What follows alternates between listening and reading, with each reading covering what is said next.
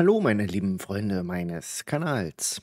Schön, dass ihr bei diesem Infovideo wieder dabei seid. Heute geht es um das Thema, welche Betrugsmaschen sind denn bislang so bekannt?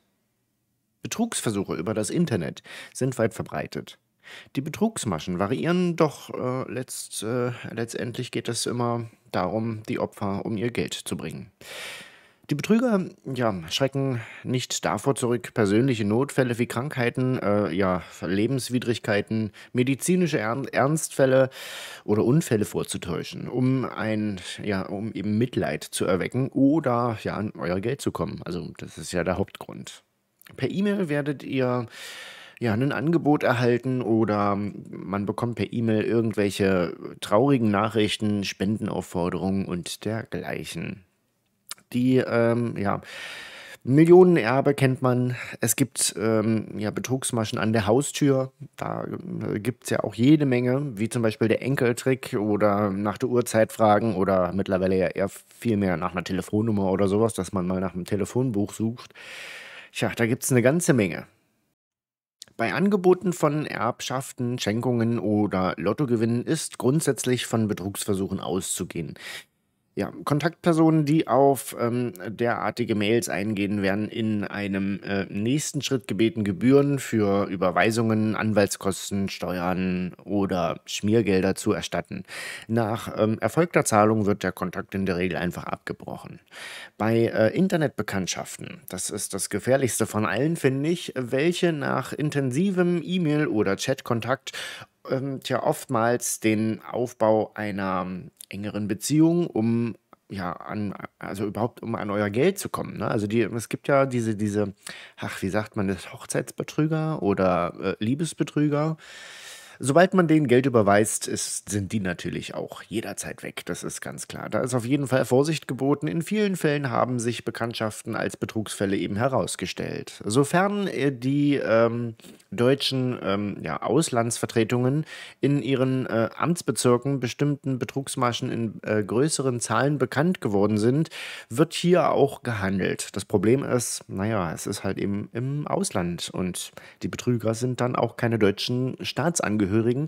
Demzufolge kann man die auch nicht nach deutschen Gesetzen jedes Mal verknacken, ist auch ganz klar. Das Bundeskriminalamt, die äh, deutschen Polizeidienststellen sowie das Bundesamt für Sicherheit in der, ähm, der Informationstechnik warnen auf äh, folgenden äh, eingestellten äh, Seiten vor diesen Betrügern, wie zum Beispiel die BaFin. Es gibt das bka.de, landeskriminalamt.de oder auswärtigesamt.de.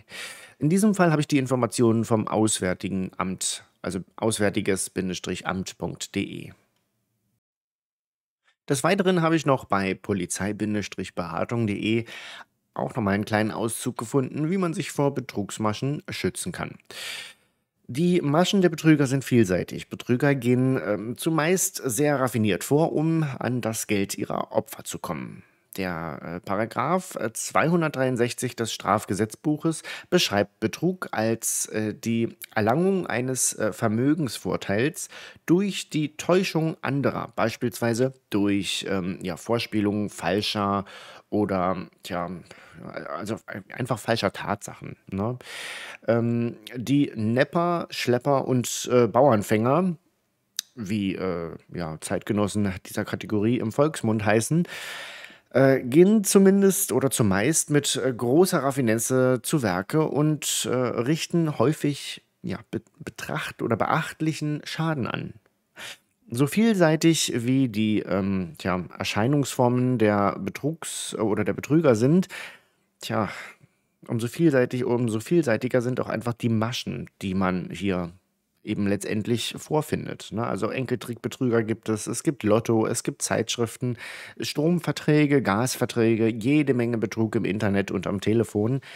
Da ist heutzutage, eigentlich hat jeder bereits schon mal mit sowas Kontakt. Es gibt aber auch noch eine andere tolle Betrugsmasche im Internet. Oder was heißt toll? Eigentlich eher muss man da ziemlich vorsichtig sein. Das betrifft ganz oft eBay Kleinanzeigen. Stellt ihr bei eBay Kleinanzeigen Produkte rein, was weiß ich, zum Beispiel eine teurere Spielekonsole, irgendeinen teureren Computer, alles, ich sag mal so aufwärts 500 Euro. Ähm, und ihr macht äh, dort den Preis 500 Euro rein und vielleicht auch Verhandlungsbasis, ist vollkommen egal, aber alles, was teurer ist, erhaltet ihr in der Regel ziemlich schnell eine, eine Antwort drauf. Meistens aus ähm, Bürger aus England, also angeblich zumindest. Die Bürger schreiben dann, oder die, der, der angebliche Interessent schreibt euch dann, ähm, dass er da sehr großes Interesse hat an eurem Produkt und möchte dieses gerne kaufen. Ähm, da er im Ausland sitzt, ähm, muss er hier angeblich eine andere Bank benutzen. Ähm, das Ganze funktioniert so. Ihr sollt das Produkt schon mal zuschicken. Das kommt ja eigentlich schon mal gar nicht in Frage, denn zuerst äh, will man ja das Geld haben. Hier lassen sich die Betrüger oftmals äh, ziemlich raffiniert etwas einfallen. Und zwar äh, tun sie so, als würden sie von einer Bank äh, euch eine E-Mail zuschicken. Das heißt, sie fragen euch vorher nach eurer E-Mail-Adresse. Gebt ihr denen eure E-Mail-Adresse, schicken die euch dann eine angebliche Überweisung oder einen angeblichen Überweisungsträger, wo dann draufsteht, dass sobald an die E-Mail-Adresse der Versandbeleg, also dass ihr es schon abgeschickt habt, das Paket, dann wird angeblich das Geld erst freigeschaltet. Naja, ist es nicht eigentlich so, dass wenn man Geld überweist, dass es auch so, sofort ankommt? Welche Bank kümmert sich darum, dass man erst einen Beleg dafür braucht? Das ist das Riesenindiz dafür, dass das Betrug ist. Oftmals fällt man dann darauf rein, verschickt sein Produkt, weil man hat ja die E-Mail, dass das Geld bei der Bank angeblich angekommen ist und die Bank wartet jetzt auf den Beleg, dass ihr das, ja, das Paket verschickt habt, um dann die Transaktion freizuschalten. Und was passieren wird, ist klar. Ihr werdet einfach von dem nie wieder was hören und von der angeblichen Bank auch nicht. Der freut sich nur, wenn er von euch den E-Mail-Beleg hat, dass verschickt wurde, das Paket. Im Grunde genommen möchte er das, ähm, dieses ähm, ja, Produkt selbst danach bei eBay reinstellen und verkaufen und damit dann die volle Summe machen. Das heißt, ihr schickt ihm ein kostenloses Produkt zu, was vielleicht ein paar hundert bis ein paar tausend Euro gekostet hat.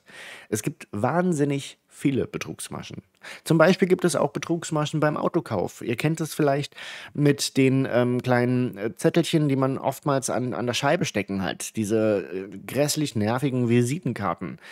Da steckt auch gerne mal eine Betrugsmasche dahinter, dass man, tja, angeblich Geld für sein Auto bekommt, aber naja, mit raffinierten Tricks kommt man dann an euer Auto und ihr habt gar nichts dafür gesehen. Oder allenfalls vielleicht 150 Euro, dabei war die Karre viel mehr wert.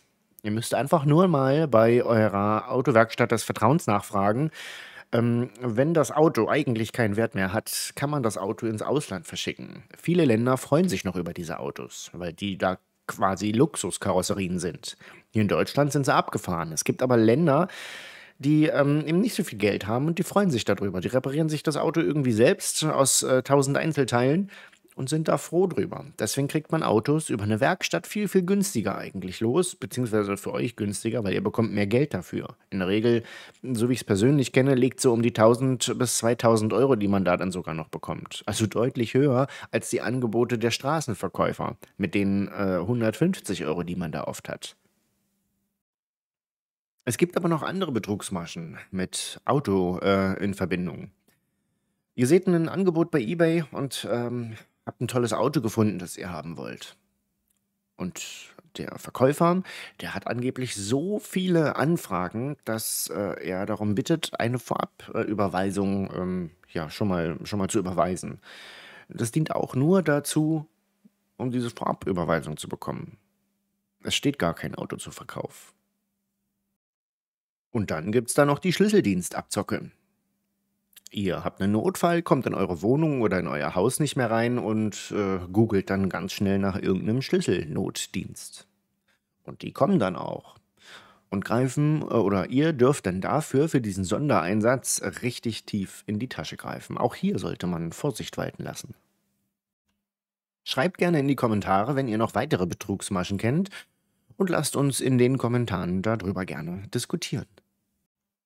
Ich hoffe, euch äh, mit diesem äh, Infovideo ein kleines bisschen äh, weitergeholfen und aufgeklärt äh, zu haben. Denn ähm, die Maschen, die gibt's. Es gibt noch viele weitere Maschen. Informiert alle in eurer Umgebung, dass es diese Maschen gibt. Umso mehr Menschen wir gemeinsam darüber aufklären, umso mehr oder umso weniger Menschen werden von diesen gemeinen Maschen betroffen sein. Klar ist, dass wir nicht immer alles schützen können. Und klar ist auch, dass wir nie alle verstehen werden, wie man auf so etwas hereinfallen kann. Allerdings gibt es sie, die Opfer. Teilt daher sehr gerne meine Videos auf den sozialen Medien oder direkt im Chat mit eurem Umfeld. Wenn euch dieses Video gefallen oder sogar weitergeholfen hat, dann äh, lasst es mich gerne mit einem Daumen nach oben wissen und natürlich auch in den Kommentaren. Abonniere gerne den Kanal, wenn du keine weiteren Videos mehr verpassen möchtest, am besten mit Glocke, denn dann bekommst du auch immer eine kleine Information, wenn es etwas Neues auf diesem Kanal gibt. Wenn du möchtest, dann äh, klicke gerne jetzt noch auf das letzte Video oder schau dir doch gleich die komplette Playlist an. Ich bedanke mich für deine Aufmerksamkeit. Die Welt ist böse, passt auf euch auf. Bis zum nächsten Mal. Ciao, ciao.